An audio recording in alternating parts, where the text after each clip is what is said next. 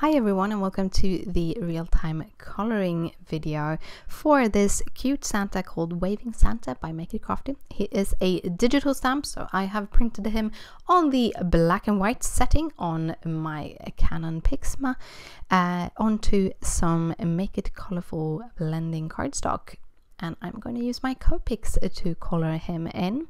If you want to see me making the card or if you want to see this coloring in a sped up fashion, I do have the card making video and it will be linked in down below and up in the right corner. But let's uh, jump into the coloring. So uh, I actually really liked the way the outcome of uh, this character.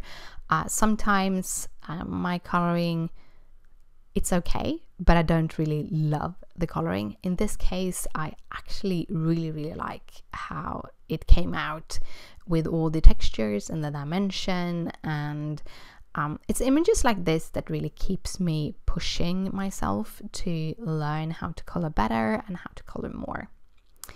Um, so uh, in this case, I started with my absolute lightest color and I added in all the shadows or the and also I added a little bit of light because I added those little lines where the cheek were and that is where I'm gonna have a highlight. However I knew that I wanted to have that cheek um, line to be able to make the eyes. So that is why I went in with the lightest color there even though I usually try not to go over my highlights more than once because then you can really get that like deep dark shadows towards very light hi highlights. As Copics are transparent and uh, the more layers you layer a color the darker the color will be because the um, it is an alcohol marker. So the uh, kind of solution that the pigment is lying in is alcohol which also helps the pigment to kind of glide into the paper but also um, it will disappear so it will only be the pigment left. So every time you color on top of something uh, again and again and again you will lay down more and more pigment and therefore the color will get darker and darker. But yeah so um, in this case I did do my highlights though because that was where I wanted the um, I wanted to have that definition to know where to put the rest of the colors for the eyes. For the eyes, I haven't made perfectly round irises uh, because both his eyebrows and that little dint in the cheek will kind of hide the top and the bottom of the eye. So I'm just doing the, the sides of the pupil.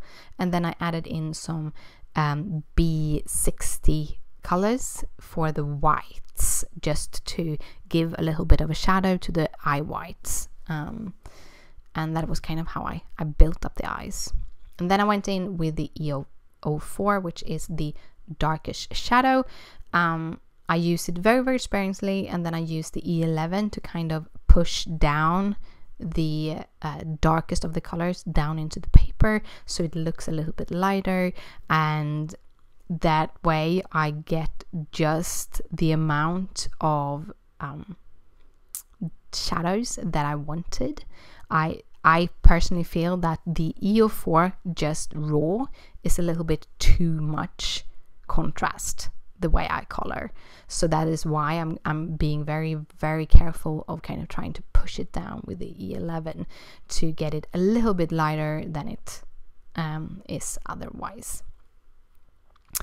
Uh, I wanted to take this time and talk about kind of different ways of coloring because when you are watching videos like mine, I try to, in different ways, teach how I color. Uh, I have a very specific aesthetic. I have a way of coloring that I really like, and that is why I'm coloring it. I still do believe that I can build myself and learn a lot, but I also think that um, a lot of that learning means practicing and using references to kind of get a bigger library of different textures and techniques and figuring out how to do stuff. Um, but what the way I do it, I do it with a very specific aesthetic in mind. And I think that is very important. If you are one that doesn't like my aesthetic, you want to learn how to do Copics, but you don't like my aesthetics, there is a lot of other teachers out there that does other kind of aesthetics. Um, and I would go look for that kind of aesthetic and try to mimic that and then learn that way because that was how I learned. When I started coloring, which now is quite some time ago, um, I started making cards in 2009. So it's 10 years ago since I started, but I didn't start doing Copic coloring until like 2012, 2013, somewhere there. Uh, I had some very, very good teachers. Um, and those were among people Zoe. Uh, Zoe is the owner of Make It Crafty, who makes these beautiful digital stamps. And she has both she has a whole bunch of ebooks and her latest ebooks are coming with video tutorials. You can also find video tutorials she has a bunch of them uh, on her website. I will link everything in the description down below.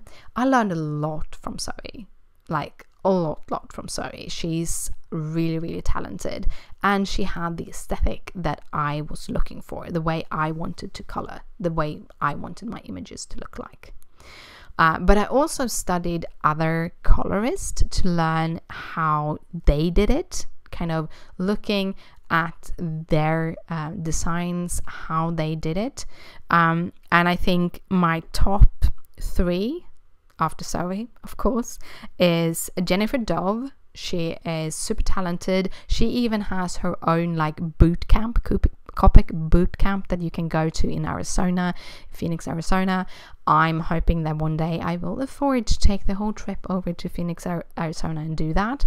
But I live in Sweden and um, it's quite expensive and I need to be able to afford that on top of my usual vacations because I don't think Christopher wants to go to Phoenix, Arizona to do coloring. By the way, Christopher's my my boyfriend. But yeah, um, so uh, she's super super talented. Uh, you can find her work both on her website but also over in the Passionate uh, Paper Creations group uh, over on Facebook, where she and the next person on my list, which is Rhea Wayland. I think that's how she pronounces her uh, last name, uh, which also is a super talented Copic uh, colorist. She does a lot of flowers. Uh, that is one of her things. Um, but I learned a lot uh, from her also by studying what she does. Um, and then we have uh, one on my dear. Okay, this list can be so much longer, but one one of my big dear people that I, I just love her creations, and that is Faye Wynne Jones. Um, you can find her in the Copic UK official group over on Facebook. But I will try to find links to all of their blogs and everything and put it in the description down below. There is some honorable mentions. We have Barbara who owns um, Little Little Miss Muffet stamps, um, which uh, where I got a lot of digital stamps. She does wonderful, wonderful creations. Oh, we have Stephen. Oh, he definitely going to link everything he does, like his Instagram and stuff, down below. He is super talented Canadian guy. I just love everything he does with Copics. Um, he's one of those that I have kind of fallen in love later in my coloring coloring a journey. Um, he's awesome. Uh, but yeah, I, I, have so many more uh, I could tell you about. But uh, let's get back into the coloring. But first, um, just as I mentioned again, if all those people have very similar aesthetic to what I have, they all have creations or have the kind of shading, the kind of coloring, the choice of color that I choose. If you actually not liking what I'm creating, then there's nothing that will stop you from, first of all, turning this video down. Uh, but uh, going and looking for those creators you know that you really, really like. Um, and if they are not making YouTube videos, they're probably someone out there that are making YouTube videos with those kind of creations. But yeah, so let's jump back into the coloring and kind of talk about everything that has happened so far. So yeah, I did his mustache and his beard and his eyebrows. And when I did that, I was very I wanted to give him a hairy texture. I wanted the them to be very stripy because that is how beard looks. Um, I try not to do too much strands and more kind of concentrate on making groupings.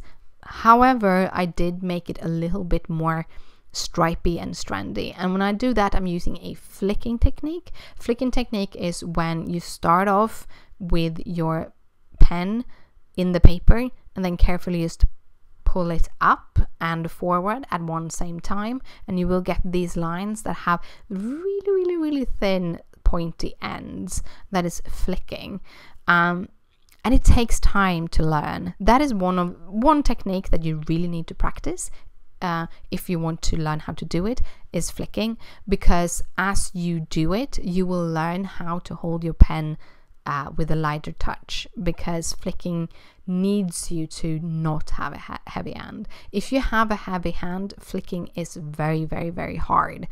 Uh, because then you will have your nib too hard into the paper to be able to make those really, really, really thin lines. But yeah, I love flicking. I know that Zoe takes a pen and does flicking when she does other things. So she has a pen doing flicking and and then just doing other things. So yeah, um, that's that that's one one thing. For his um, kind of cuffs on his jacket and the little bowl and the, the thing it's called the brim of his hat i wanted to give him another texture but i wanted to work with the same colors i'm using the w grays um, I'm using the W Grays because they go a little bit vintagey, which I really, really love. I love the tone of vintagey, especially for Christmas. Vintage and Christmas is two of the things I love. So in this case, I went with the grays. I used my double zeros, the one and the three, mostly for the reasons that my other ones were drying out and then I left them on the shelf for a couple of months, and then I tried to making the videos last here uh, in the middle of June. Um, and then I just had to go and buy the refills finally. But here I use those um, because I usually use the even ones and not the uneven. But I have the whole set, so I tried to use all of them. And in this case, I really, really like how it came out because it was light and fluffy the way I really wanted it. Uh, using the number four in this case might have gotten like using the even ones and using the zero the two and the four might have made it a little bit more gray than I wanted it to be. And by the way, you will also see how when we started here, it can feel a little bit too much darkness on it. But as we are coloring, uh, you will see how uh, because we're adding darker colors into this, uh, the contrast will actually lower in the lighter areas. It won't have that much of a contrast. Um, and also the reason why I'm coloring in the order I do um, is because I have a shaky hand and when my hand shakes I have a tendency to pull one pen into another color. And if I do that on a darker color, I can get like pull the dark red or the dark brown into the white, and that can ruin the whole piece because I have found it pretty hard to get rid of. Um, so I'd rather go from light to dark, it's easier for me. Um, but one thing you can try is to to um, when you choose your color and you go through them and do if you do one color at a time as I do, um, you can uh, start with the dark colors and then go to the light. And that might help you if you have a problem with getting too little contrast on your images for the lighter parts.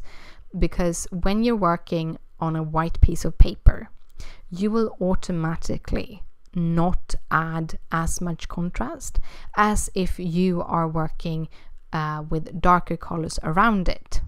it's just just a habit you have I have come to the position where I know about how much contrast I need, like in the face and in the lighter parts, to balance the darker colors, and therefore I can do it.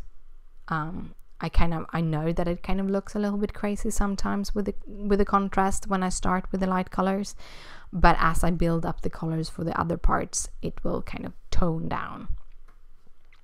But if you um, are having a problem with feeling that you don't get the dimension you want in your pace, try starting with the darker uh, colors and go towards the lighter colors. So for the rest of this uh, image, I am going to use my um, E40s for all of the leather pieces including his bag. So I know that leather is so heavy, so heavy, but I thought it would be a gorgeous color.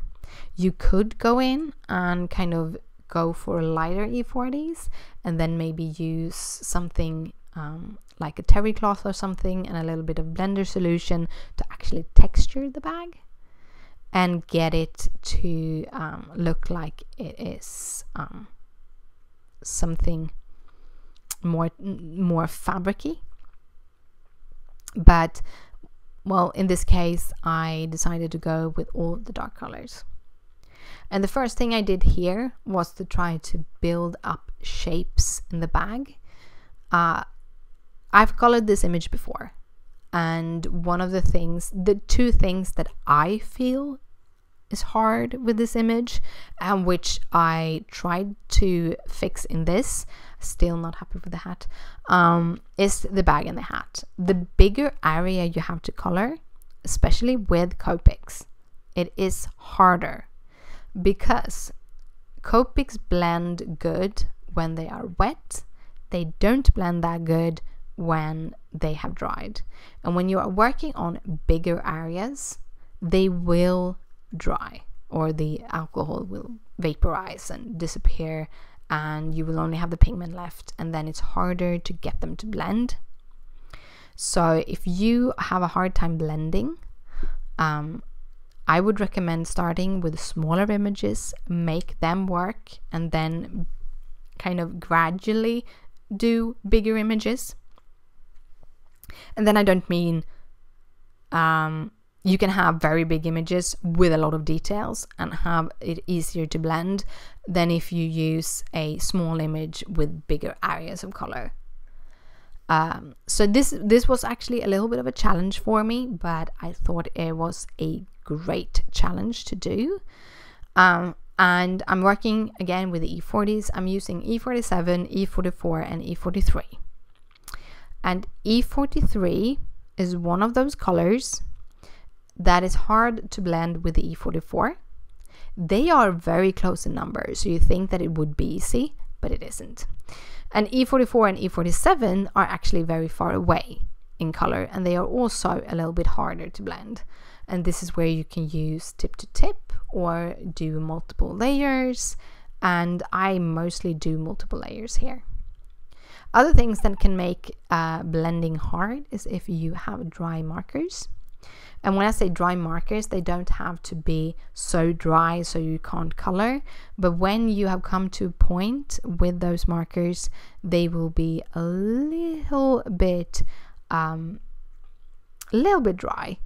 And then blending is super hard because the way, as I said, the way the color will blend is that you have the solution in the marker, which is the alcohol, and that will kind of make the uh, pigment move inside the alcohol.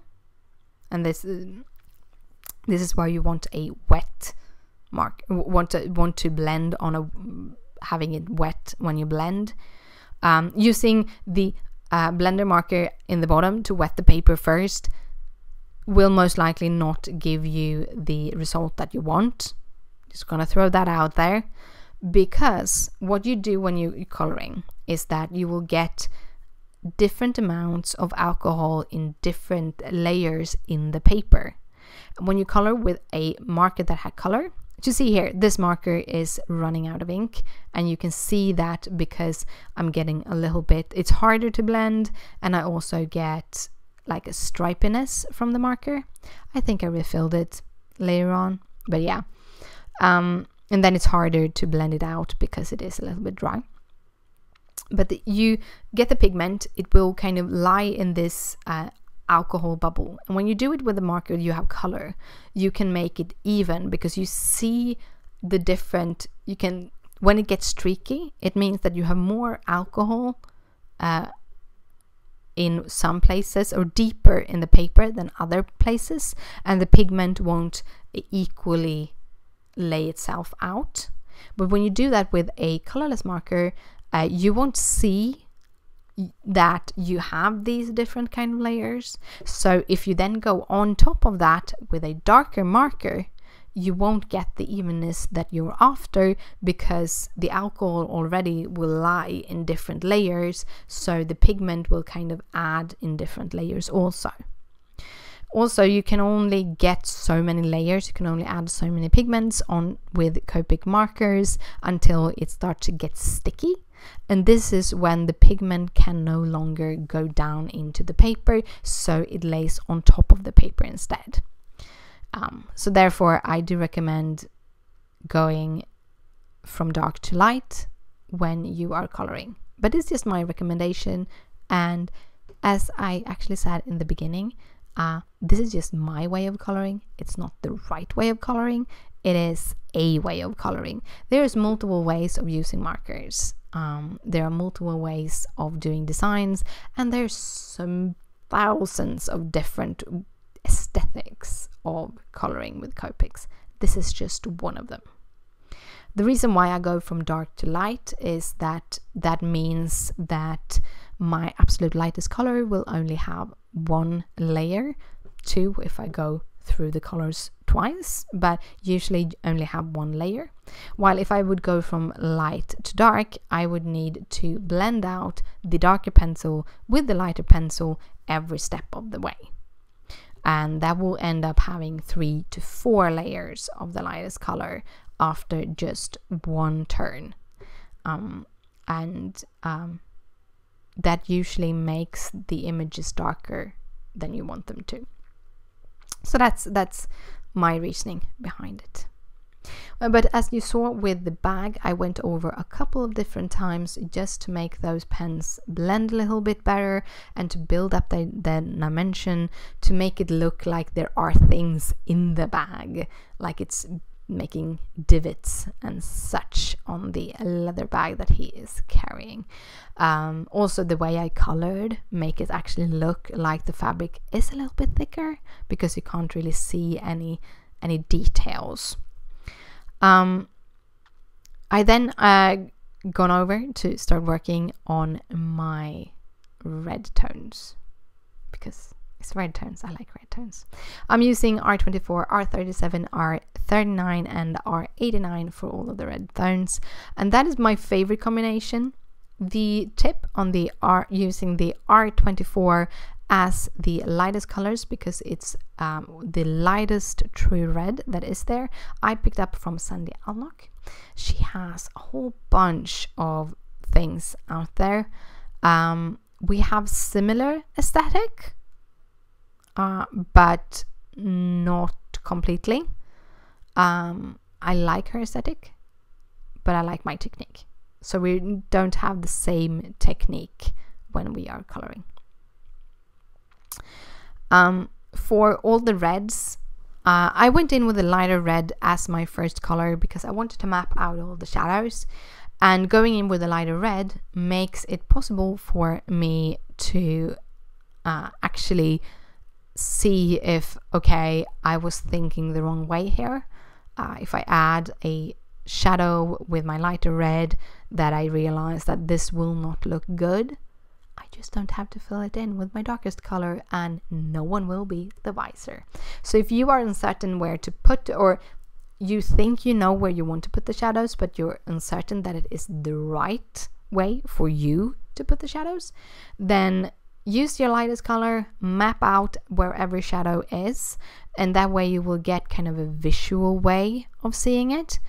And then go on over with your darkest color only on the places that you found that this is where I want the shadows to be. When I have uh, when I've mapped out everything, I'm going in and then I'm gonna go uh, fabric by fabric or piece by piece. Again, this is because you want to have a wet surface when you are blending, so you don't want to work over the whole image. I have done it in the past in periods, mainly because editing out the pencil swaps takes so much time. I can be I can honestly say that in many of my coloring videos, when I'm going in, I'm doing it one color at a time, um, even over multiple things. It has been because it takes so much time to edit out all of the pen pencil switches. Um, but when I do a, a, speed up, that is kind of necess- a necessity, is to remove all of those swaps. And also, it would take a lot of time if you wanted to sit here and see every time I put on a cap and then remove a cap and then put on a cap. It's actually quite a nice sound that cap capping and uncapping.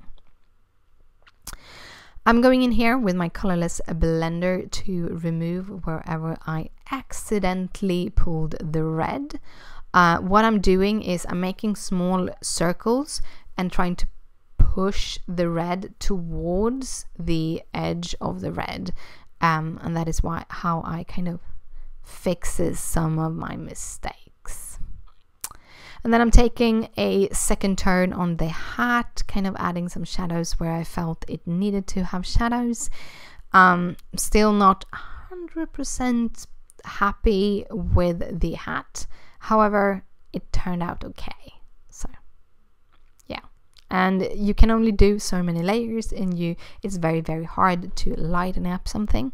So, um, I let it be and then just continued on with the rest of my little Santa. When I'm doing shadows, in this case, you can see very, very clearly how, what I'm thinking when I'm doing shadows. One is you do the drop shadow, and the drop shadow is a shadow that, or a cast shadow, is a shadow that is cast by another object on top of the object. So in this case, I'm going around, I'm having cast shadows uh, underneath the cuffs, I'm having cast shadows underneath the beard, underneath the bag, uh, one of the arms is casting a shadow, stuff like that. Um, then I have rounded shadows. A rounded shadow is a shadow that is facing away from the light source. So it's basically to create the illusion that the object have a dimension, a circular dimension. I also add small, teeny, tiny lights called rim lights, and I, I do them uh, wherever I have usually have a drop shadow or no, a rounded shadow. I add a one of those rim lights. Um, I'm doing it for a couple of reasons. One is that you do have a reflected light that can actually create one of those shadows. However, if you want to be really true, you should kind of figure out what kind of um, other colors there are around and make that reflective shadow have a tint of, or a reflective light have a tint of that light or that, or, or of the uh, things around. So basically, if I put the Santa into a forest, um, the reflective light would have a green green tint. But uh, I do the rim light because it is a way to delimiter the colors in between each other and make it look a little bit more dimensional and removing like blobs of color, making a definition between them. I do this more uh, when it comes to doing the no line coloring technique because then I don't have the dark lines as delimiters. But I do use this when I work uh, on colors that are really really dark where the black line actually wouldn't give that delimiter that I really really need as for the limit the limit between the red and the brown here. I really really needed to have that rim light to get those different parts kind of separated. That is that is why I did it all. Um, but yeah. Um, I do with the ending of this I am adding the R24 as my top layer, which means I'm going over all of the area that is supposed to be red with the 24. And the reason of that is to make it look a little bit more cohesive. The other reds that I'm using have a very blue tint, and if I only would go over the lightest parts of this, um, it might not look well blended and it might kind of stand out. So what I'm doing, I'm going over, especially for this red combination, it is making it much more cohesive and giving it a much, much deeper red. If you just go over all of the areas to get that little bit of yellow that exists in the R24 that doesn't exist in the R30s. But yeah, that was all of the coloring that I did today. I hope you liked this video. If you do, please thumb it up. If you know someone that might want to see this, maybe take and share this. And if you want to see more videos like this, hit that subscribe button. And yeah, thank you so much for watching and I see you later. Bye!